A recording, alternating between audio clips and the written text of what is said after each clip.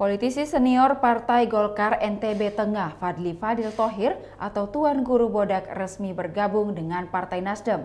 Hal itu dilakukan langsung Tuan Guru Fadli di hadapan bakal calon presiden Partai Nasdem Anies Rashid Baswedan dilansir dari tribunlombok.com.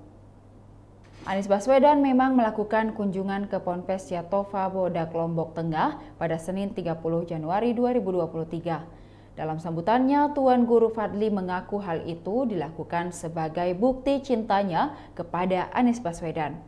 40 tahun lamanya ia di Golkar namun karena cintanya kepada Anies, ia rela bergabung dengan Nasdem.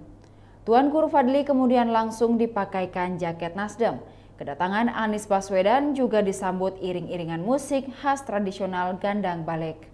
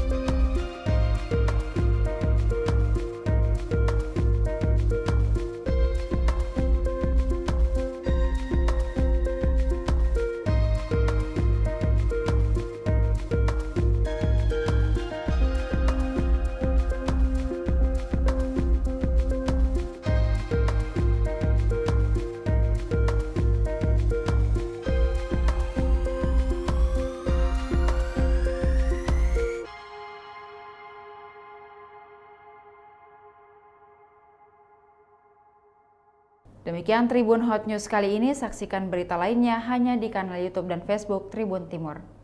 Terima kasih sudah nonton. Jangan lupa like, subscribe, dan share ya.